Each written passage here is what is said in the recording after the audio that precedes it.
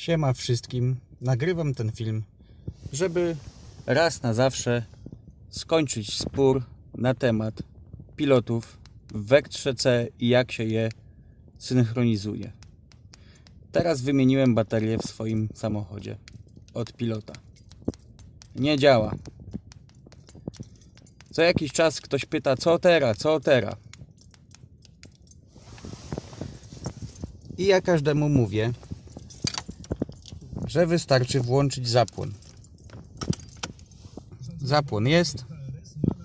Wyciągam. Pilot chodzi. Niestety są ludzie, którzy nie mają pojęcia, jak to działa, i co jakiś czas doradzają, że trzeba jakieś guziki dusić, w drzwiach dusić te guziki, jakieś rytuały, modlić się do Allaha, nie wiadomo co. Jedno wam powiem: jak nie masz pojęcia, to się nie udzielaj. W sytuacji, kiedy pilot po włożeniu do y, centrala się nie synchronizował, to znaczy, że albo jest uwalony CIM, albo uwalony ten kluczyk, albo uwalona ta bateria. I tyle w temacie.